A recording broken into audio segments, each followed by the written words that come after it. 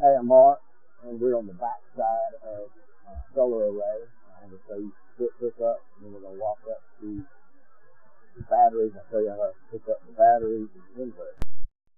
This is a 108 cell panel. Each 36 cells has its own diode and wired separately. And then all of those wires come to a terminal block. And then from the terminal block, all each panel has its own terminal block, and all these number 12 wires come into a bus bar. Each wire simply hooks in all the positives one side and all the negatives to another, and then it jumps up to a number four aluminum. Uh, is a couple hundred feet up to my battery, so I want to go with a big enough wire to handle all the amperage. Um, also, this system is hooked into a hydro generator, which is going to be on our next video. Um, we're going to walk up to the batteries now. Hey, we're up here at the uh, battery bank, and uh, I have a 12 volt system. I'm using a AIMS 5000 watt inverter. Um, I've been real pleased with it. Uh, I started out with this system in a nice little neat room, shingled roof, everything mounted nice and neat on shelves, and I was having trouble with the battery terminals were constantly corroding. Um, birds were flying in in the spring and building their nest on top of the inverter. In the fall, squirrels were bringing nuts, uh, chewing on the wires. And it was a constant headache with the animals, and little centipedes were climbing inside the inverter and shorting out stuff. So I abandoned that whole system and just uh, left the batteries out in the open. I never have to clean the terminals now. Um, I found out by mounting the inverter upside down at about 60 degrees that no squirrel, bird, rat, anything wants to build their nest on it or in it. I also added uh, my own screen over all the vents on the inverter to keep centipedes out because they'll get in there and short the thing. And it's real aggravating. Um, the batteries, these are all 12 volt batteries. They're hooked in parallel. Do have four 6 volt batteries.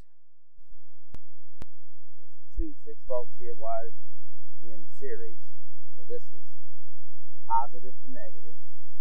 And um, then you go from your positive up to the control to the uh, inverter, and then your negative up to the inverter. And That gives you 12 volts. Same with this system, totally wired separate so that you get your 12 volts. You don't want to go to 24 and you can't just use 6. Um, if you are in a 24 volt system, then you hook all four 6 volts in series to come up to 24 volts. I just stayed with a simple 12 volt system. All your parts are cheap everything you can find. Pretty simple to run on 12 volts. This system's worked real well. It's been here for years.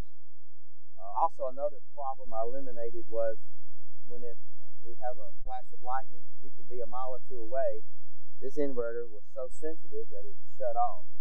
And I was constantly coming out here and flipping the thing back on. So what I did is I built a Faraday cage, which is basically a, copper wire run on top of this board that keeps it dry. And uh, it takes all the magnetic and static electricity from the air and runs it to the ground. Haven't had it trip one time since I've done that been real pleased with it. Um, I have a digital amp meter. You can see I'm running around 12 amps right now. Um, it's real foggy. It's early in the morning. This is coming from my hydro generator, which we're going to show in the following video. Uh, I'm going to take you around to the other side now and show you the charge controller.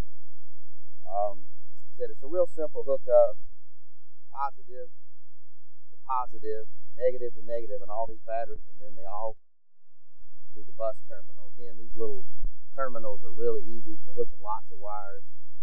Uh, then you got to step up to a, a big uh, six aught gauge wire to run the inverter. Now I got a big 5,000 watt inverter. I'm only running two refrigerators, freezer, and some lights, but to kick off a freezer or refrigerator takes a lot of power. Uh, a little 3,000 watt everything else was running, the freezer would kick on or go in the defrost cycle, it kept tripping it out. So I had to go up to a 5,000 watt inverter. Been out here for years. It uh, seems to be pretty foolproof with using this system. Also, when you hook in a amp meter, you have to wire in a shunt. This is a 150 amp shunt.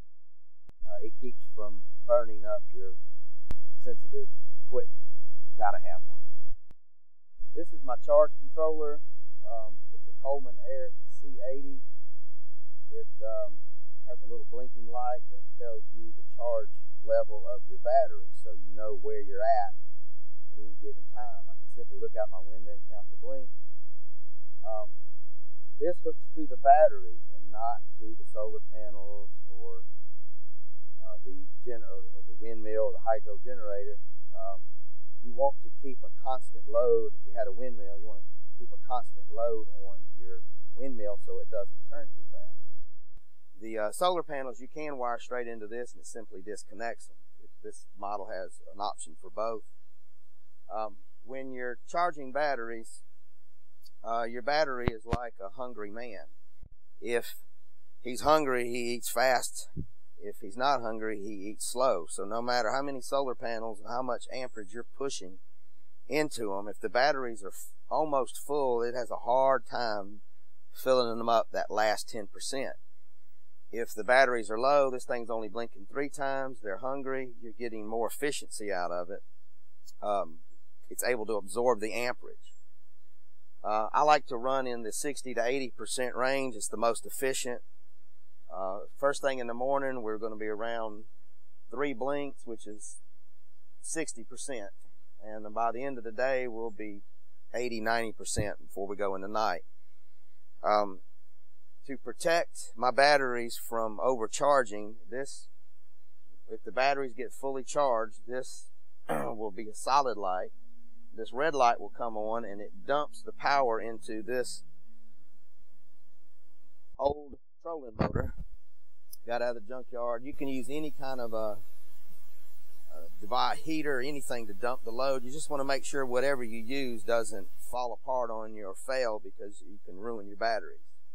And you can test your system by simply pushing the button.